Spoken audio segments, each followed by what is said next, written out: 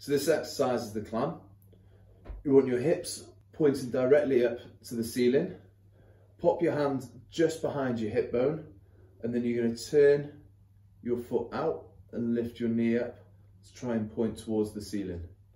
It's just your leg that's going to move and you should feel your butt cheeks squeezing as you go.